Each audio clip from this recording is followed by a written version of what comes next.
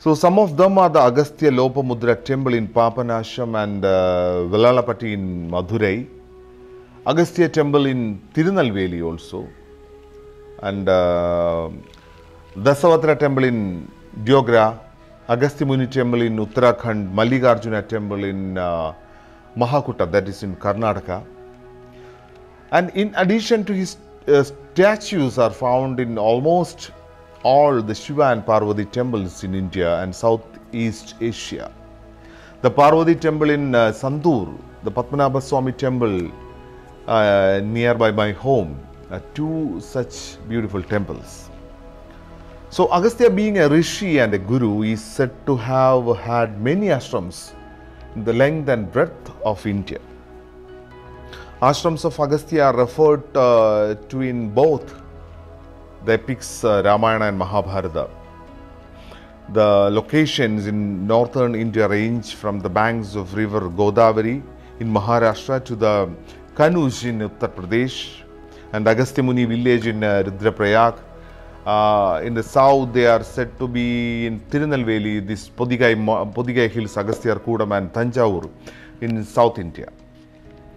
With all these, we are looking at an exceptionally large geographical area where Agastya has left his mark, confounding us further in the vast geographical area across the seas from India. The presence is found in Cambodia, Indonesia, Malaysia, Thailand, and Sri Lanka. If we choose to leave the borders of India, set sail and travel to Sri Lanka from uh, references to the 9th century Sanskrit play Balaramayana by uh, Rajashekhara, we know that the shrine of Agastya was said to have been located in the uh, in the Sripat mountain. Uh, it is also known as Adam's Peak. From there, if you travel to Yogyakarta in Indonesia, uh, like 2500 miles, we again found the statues of Agastya in the Shiva temples here. In fact, one of the statues uh, from Java, Indonesia, has uh, made its way to Singapore Museum also.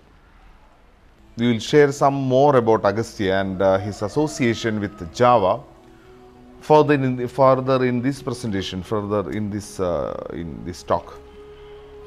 From there, we travel another 2400 kilometers and we will arrive the Angkor temple and we find Agastya there also. So also our uh, Agastya statues are found in Vietnam and references made to his travel in travel to Mal- Malaysia. And Cambodia claims that their 9th century king Indra Varman is a descendant of Agastya. We have now established Agastya's presence in not just in India but many parts of Southeast Asia. What is it that made people revere him so much to uh, carve statues of him, name places and natural resources after him? If we look at the stories in the Puranas, epic and later literature, Agastya is ascribed superhuman abilities like humbling a mountain, drinking the entire ocean, and restoring balance of the earth. Geographically, we have instances of mountains, lake, towns, and even a star named after him. We have rivers and trees associated with him. Perhaps no Vedic sage can equal the sheer presence of Agastya in terms of timeline or geography as we have seen. So, we had left off tracing the presence of Agastya in literature earlier with the epics Ramayana and Mahabharata. Let us uh, journey further in time towards the modern era and we see him appearing prominently in literature from 2nd century BC in plays, stories and historical documents.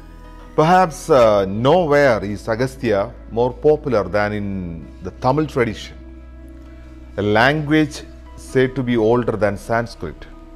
So there is a small surprise considering that the honor of bringing this ancient language to us is attributed to Agastya itself. The story goes that Shanmukha, the son of Shiva, gave the language to Agastya. and he in turn gave it to the world. And you know, Agathiyam is the grammar text of Tamil language. It is attributed to Agastya itself. From legend, we go to actual historical references of Agastya now. As we find that he is credited with compiling the first grammatical test of the Tamil language, Agathiyam. Even through Agathiyam has uh, not survived the oldest surviving test of Tamil grammar, Tolkappiyam refers to the first ever compilation of Tamil grammar, Agathiyam. Agastya's contribution continues on in legend and history in the literature of this language. The Sangam literature of Tamil Nadu, which boasts of three major Sangam or literary uh, conventions that uh, stretched over 100 of, 100 of years, refer to him as the chair of the first ever Tamil Sangam. Here again, uh, there are no surviving text of this first Tamil Sangam. The later Sangam literature referred to his uh, chairmanship in the city under the sea near the modern day Madurai. In the great philosophical text Tirumandiram, uh, written by Tirumular, uh, references are made to Agastya as a sage who come from the north and settled in the south. A shrine of Agastya is mentioned in the Tamil epics Silapadigaram and Ilango, uh, by Ilango Adigal. Those who are familiar with the story of Kannagi will know what uh, I am referring to. And another 10th century treatise on uh, gems and diamonds bears his signature name and is called Agasthimath.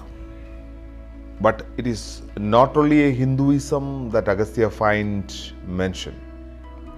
We see him extending borders even in religion. It seems Agastya has transcended time, geography, and now religion as well.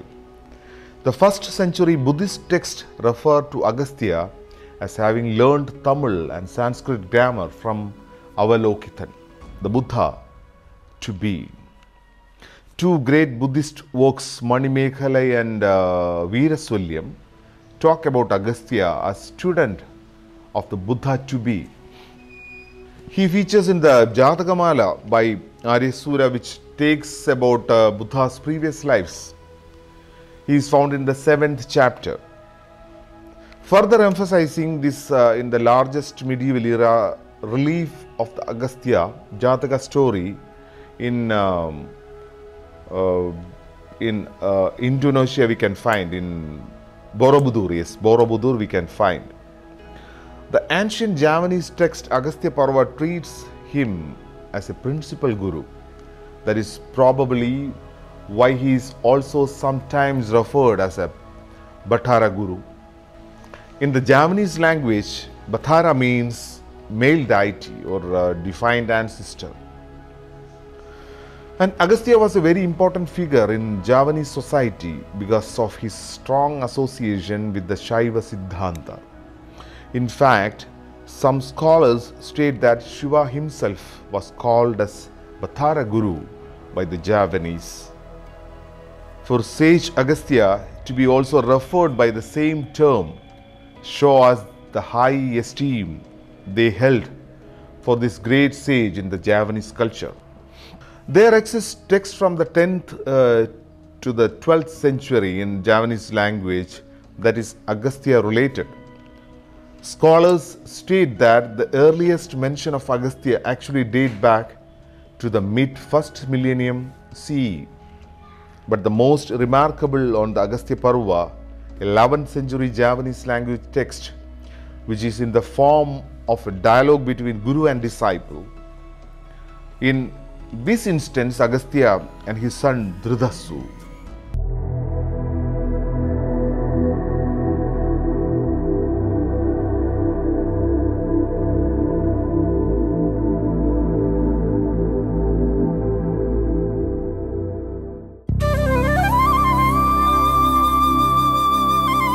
Agastya